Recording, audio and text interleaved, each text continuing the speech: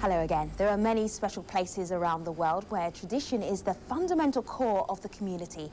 And often an area's produce is what defines that tradition. For an old fishing village in the Netherlands, that produce is smoked eel. And in Kuwait, it is Arabic coffee. We have two reports on culinary traditions under threat of extinction. Volendam in the Netherlands has been known for ages as a typical Dutch fishing village also known for its typical costumes, wooden shoes, and many other traditions. The most wanted catch of the day always has been eel.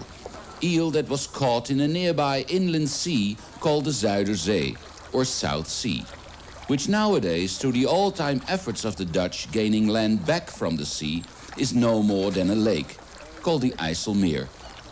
But it didn't stop the eels from coming all the way from their breeding grounds in the Atlantic Ocean via canals and sluices to this different environment and to provide this small village an important source of income. The best way to eat eel is to smoke it. According to the Dutch, a delicatessen in the same line as caviar, oysters, foie gras and champagne. The secret how to smoke this eel creating a unique flavor is kept in Volendam.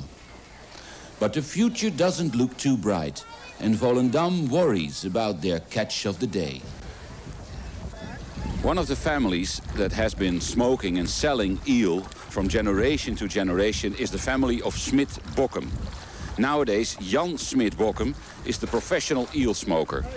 Let's ask him how hard it is to smoke eel and make a living out of it it's getting harder and harder to buy eels here at the harbor in Volendam.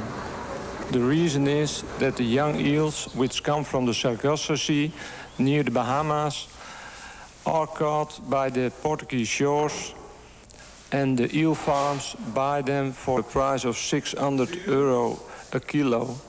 That's the, the main reason. If this is allowed or not, according to the European community, is to be discussed and then could take years before legal action is taken. It all may be too late for Jan Smit Bokkum. The, the taste of the, of the eels from the IJsselmeer is so special that uh, you, you cannot compare any eels from any country which has the same taste. For the future, it's a, a big problem because 20 years ago there were 30 boats this year there were 10 boats, but when the season is like last year, then there will be left five boats this year. So the big question is, will the famous Volendam smoked eel stay available at all? And if so, will it still be affordable? Andreas van der Schaaf, Radio Netherlands Television for CNN World Report, Volendam, the Netherlands.